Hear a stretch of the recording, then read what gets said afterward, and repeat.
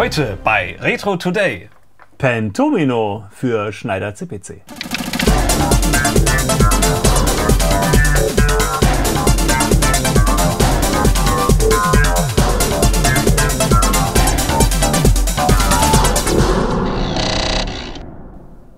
Hallo und herzlich willkommen zu Retro Today. Servus.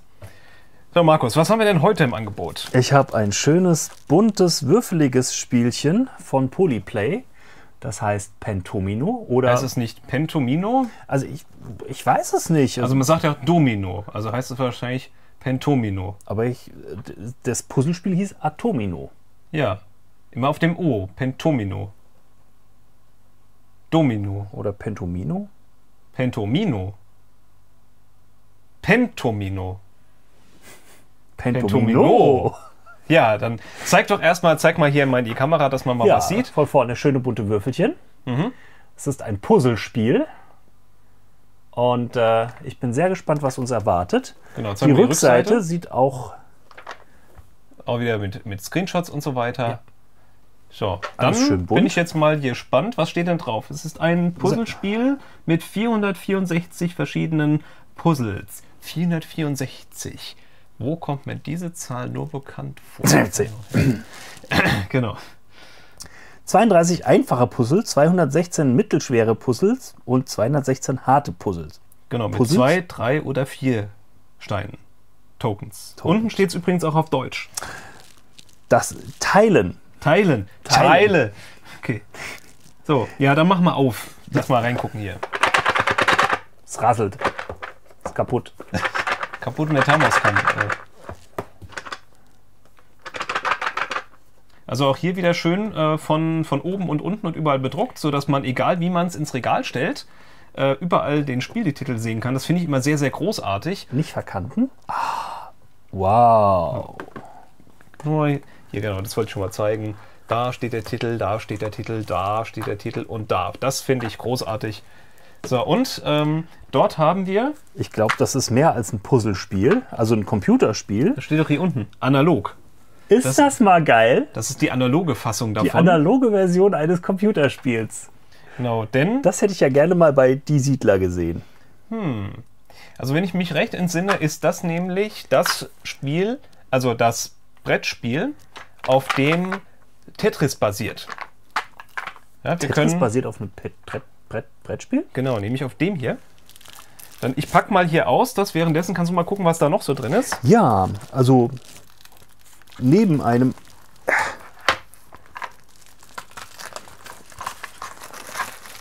farbschönen, übersichtlichen Handbuch. Das ist tatsächlich nur, also diesmal So kompliziert ein, ist ein, nicht. ein Faltblatt. Ja, Ich hole ich hol erstmal die Goodies raus. Mhm. Ist ein Polyplay-Aufkleber, der bekannte und der andere. und der andere bekannte Polyplay-Aufkleber. ja. Dann ist Dann da, ist hier noch ein sieht wie ein Poster aus. meine, das ist ein Poster. Und, Und es ist nicht nur ein Poster, es ist ein Pentomino-Poster. nein, ein Pentomino-Poster. Pentomino. Aber da ist noch eins drin. Noch eins? Nee. Nee, sah nur so aus. Eine optische Täuschung ist auch mit drin in der Box. Ah. Außerdem sind einige Atome in Originalgröße beigelegt. Ja. Äh, Und dann eine Formschön. Also ich finde diese Disketten ja Irgendwie super cool. ansprechend. Ja, ich finde Ja. die sehr schön. die sind auch äh, so stabil, Naja, theoretisch. Sie haben allerdings Theoretisch. keine Klappe. Muss man immer muss man aufpassen, dass da kein Dreck dran kommt. Das stimmt Gab es, glaube ich, auch so mit so Schutzhülle oder sowas dann. gut, liegt Naja. jetzt nicht bei, aber dafür die für Polyplay typische kleine SD-Karte mit dem Spiel drauf und einigen anderen Goodies für die Emulator-Freunde unter uns. Genau, so jetzt mache ich mal hier die Schachtel so auf. Mal gucken, ob ihr da was, was sehen könnt. Ja, und äh, das erinnert doch schon sehr an Tetris. Und zwar haben wir ups, und schon kriege ich das nie wieder da rein. Äh, genau, da gibt es nämlich hier solche Steine ich. und solche Steine und solche Steine und So, lange Steine. Also es sind eigentlich quasi genau die Tetris-Steine. So, oje, wie kriege ich das hier? Das, das mache ich dann nachher, verfummel ich das dann da wieder rein irgendwie. Also ich muss dir leider mitteilen, im Handbuch ist keine Komplettlösung für dieses Analogpuzzle drin. Oh, Du musst also tatsächlich puzzeln. ja. Ähm, Markus, ich bin dann mal beschäftigt. Mach du doch mal weiter. Äh, Ja, ich äh, das ähm, legen wir mal beiseite und äh, machen wir dann wann anders. Denn wir wollen ja uns ja das Computerspiel angucken. deswegen sind wir ja hier. So, So, ran Anführung Disk. werden wir jetzt mal gucken, was da auf der Diskette drauf ist. Ach so. Und da sind so verschiedene Sachen. Äh, und wir wollen aber Disk hieß es. Disk, Also jawohl. machen wir Run Disk mit K. Mit K.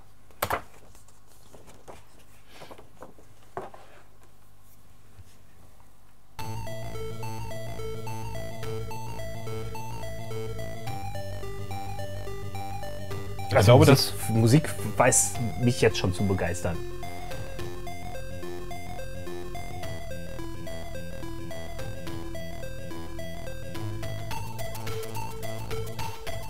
Also Sehr ich cool. würde ja sagen, der hat drei Kanäle. Zumindest sieht so aus. Ja, dann machen wir mal, machen wir mal weiter. Das war jetzt nämlich quasi das Titelbild oder das, das Intro. So, und jetzt ähm, wollen wir mit Easy anfangen. Ich fange immer mit Easy an. Okay. Ich muss den dann nehmen.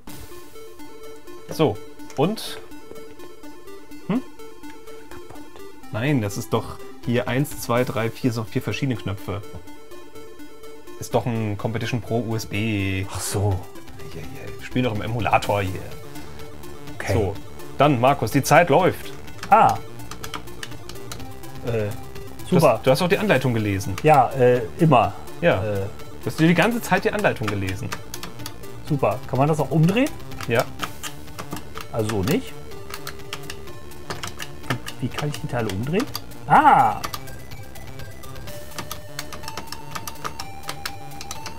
ja erstes Teil. Das muss spiegeln. Kann ich es auch spiegeln? Ja. Ah, mit Joystick nach unten. Puzzle One. So, nächstes.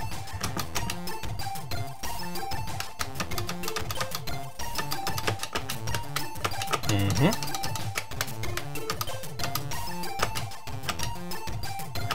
Hey, gib mit. Tada. Puzzle One. So, wie, wie viele einfache gab's? Wahrscheinlich Guck mal. zu wenige für mich. Gehen wir die Anleitung. Gab 32 einfache. Ja, Markus, das hast du auch schon hier.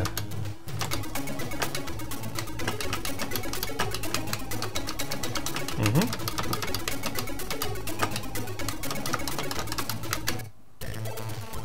Und eine ganze Menge verschiedene Musikstücke.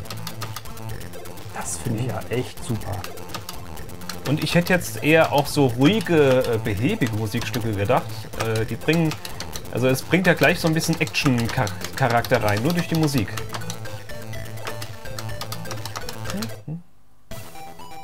Schade, dass sie immer so schnell vorbei sind. Aber ich vermute, bei den schwereren Das, äh, Leveln äh, hört man mehr davon.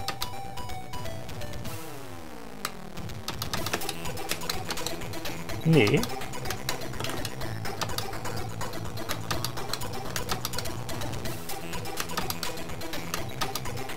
Oder auch hier schon.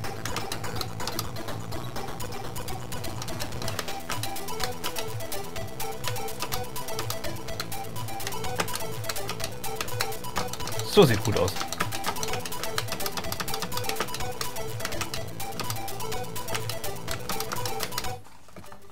Haha. Ah, das ist etwas ruhiger. Da, da, da.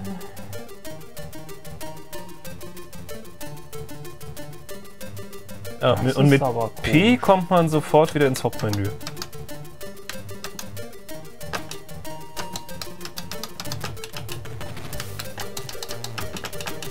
Im Survi- es gibt ähm, diese drei Schwierigkeitsgrade. Wir machen jetzt gerade Easy hier. Ähm, und wenn man die einzeln spielt, dann hat man auch immer unendlich Zeit. Aber mit Survival spielt man alle 464 am Stück unter Zeitlimit. Man kriegt aber einen Zeitbonus, wenn, ein, wenn man ein Puzzle geschafft hat. Das heißt, je schneller man am Anfang ist, umso mehr Zeit hat man am Schluss. Das ist natürlich. Äh, da versucht man am Anfang natürlich optimal zu arbeiten, damit So man nachher, wenn die. Level schwieriger werden, entsprechend äh, ein bisschen Puffer hat. Und man kann ja trainieren. Genau, noch 24 im, im Easy, Okay. 23. Und die Musik ist, ey, ist wirklich cool.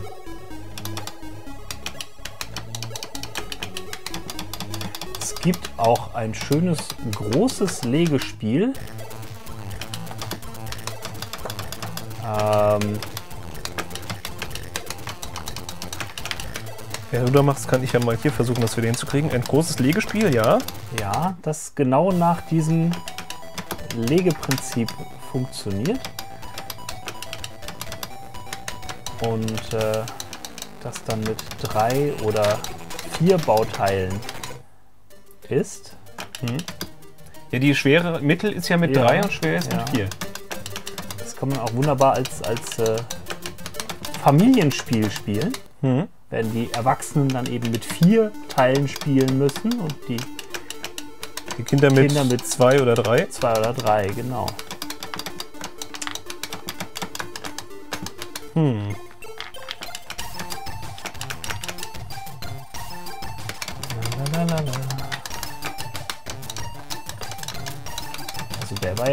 Geschenkt.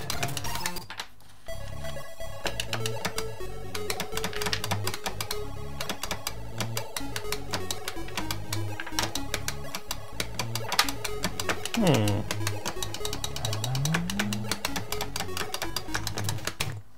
Na, kommst du hin? Äh, äh, pf, mach du da mal weiter. Ich, äh, ähm, ja, ähm.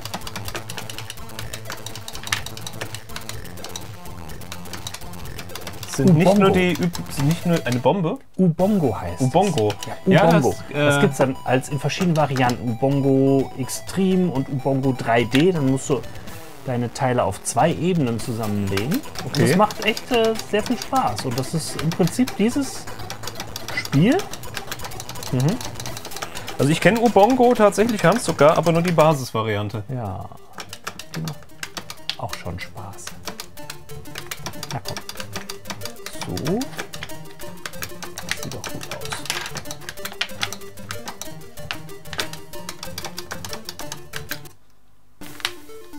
Ja, ein witziges Puzzlespiel. Willst du auch mal puzzeln oder bist du mit deinem Analogteil schon? Du kannst ja mal das Analogteil probieren und ich mach mal hier. Ob du das, ob du auch in dem Analog so brillieren kannst wie hier. Dann schauen wir mal. So.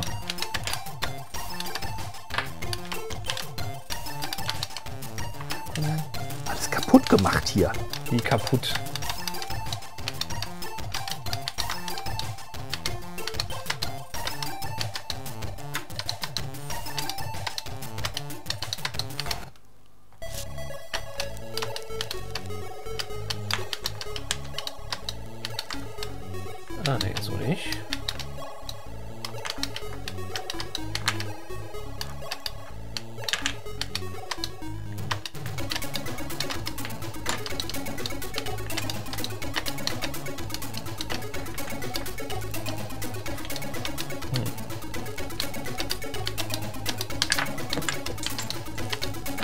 Hau weg!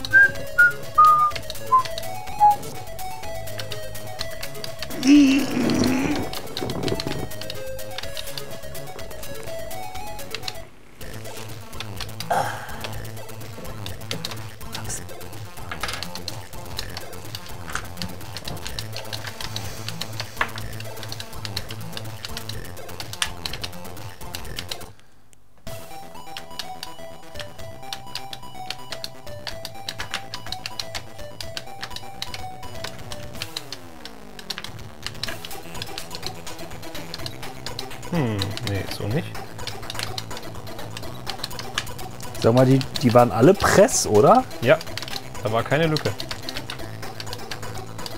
Es muss gehen. Und das hier muss auch gehen.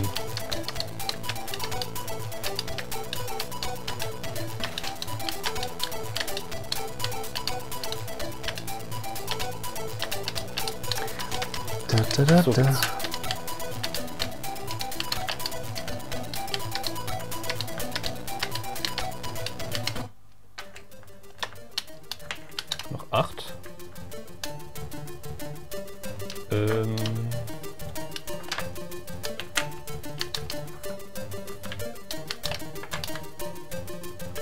Kann ja nur da. Da oder? Da.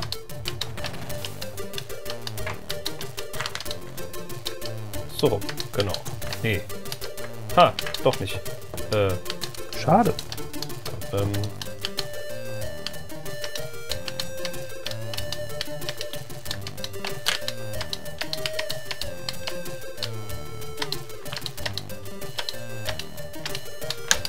So gehört's. Jetzt hast du diesen eins noch. Noch. Nur, Eins noch, noch. nur noch eins. Kommt das eine mache ich noch.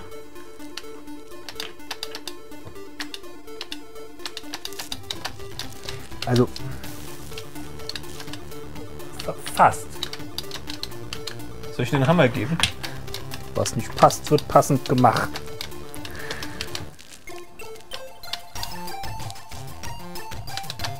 Die Musik ist aber auch echt toll. Ja.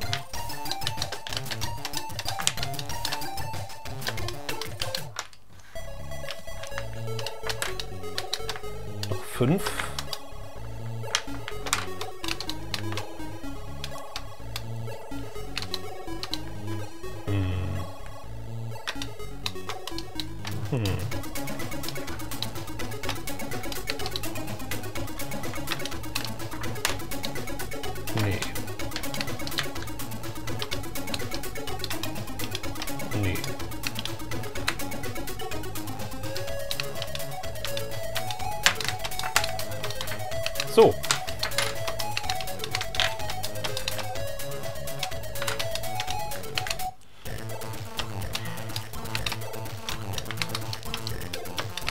War ja einfach.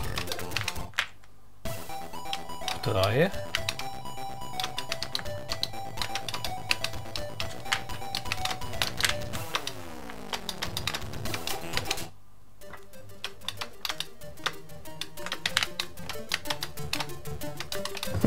Mann.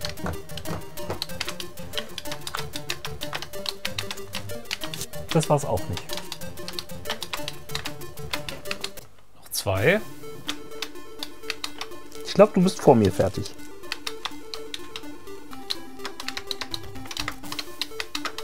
Nee. So. Hm.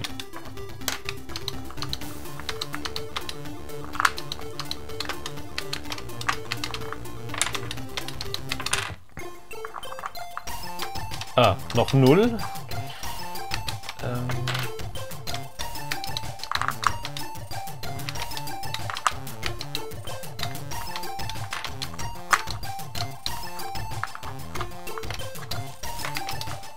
Nope. Nope. Nope.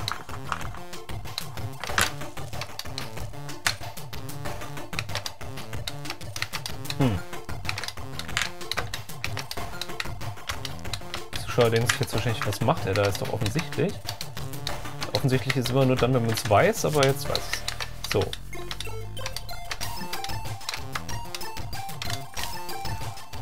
Game One. Yippie. Also auf easy. Ciao. Sehr schön. Macht auf jeden Fall Spaß. Ich würde sagen, wir probieren jetzt nochmal zum Abschrecken hart. Mach mal. Machen wir mal. Mit vier Mein Teilen. Hart sind vierte. Weißt du, wie viele das hier sind? Das ist very hard. Das ist extrem. so. Ähm, Ha! Falsch.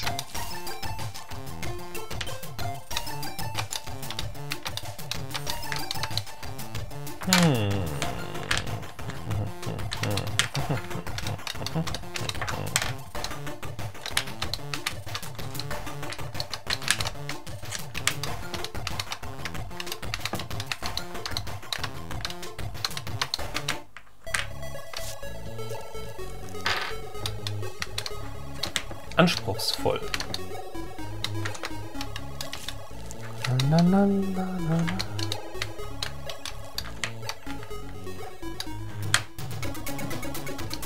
Nee.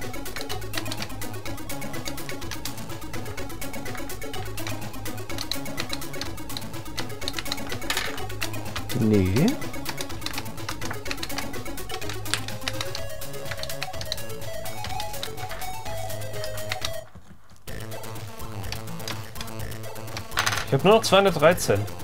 Ähm, also auch auf Hard ist schaffbar. Es ist nur, man muss ein bisschen mehr... Markus, du machst ja immer schlimmer.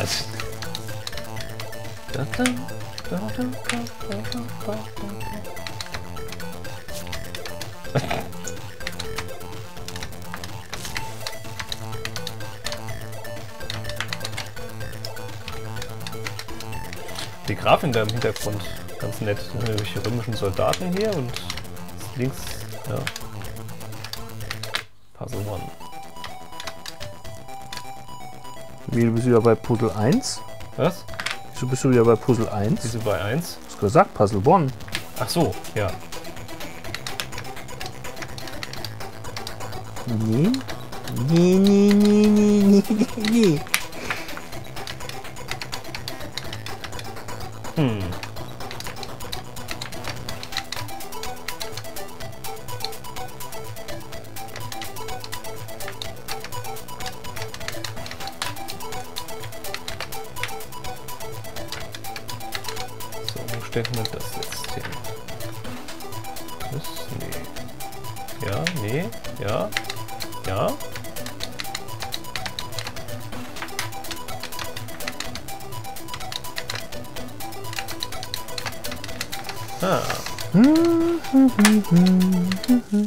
Gut, ich bin dann mal weg.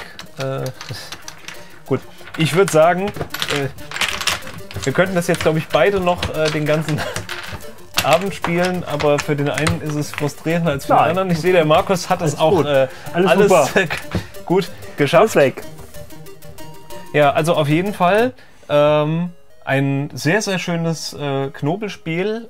Hier, im- so ein, komm, das eine. Ja, eben, so ein bisschen, so ein bisschen Suchtkick dahinter. Und ich finde, also ich finde allein die Idee, das Ding nochmal als Brettknobelspiel beizulegen, ist schon großartig. Super. Sehr, sehr, sehr, sehr schönes Extra.